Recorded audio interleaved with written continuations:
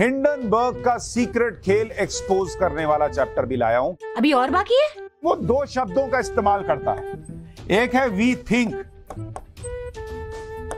यानी हम ऐसा सोचते हैं। और दूसरा जो शब्द वो इस्तेमाल करता है वो करता है वी बिलीव यानी हम ऐसा मानते हैं। या यानी हमें ऐसा लगता है हमें ऐसा भरोसा है। मैं भी दो शब्दों का इस्तेमाल करना चाहती हूँ। आई थिंक इसको देख के अदानी डिसाइड कर लेगा एनडीटीवी खरीद लेते हैं मार्केट में ये सब मिल रहा है।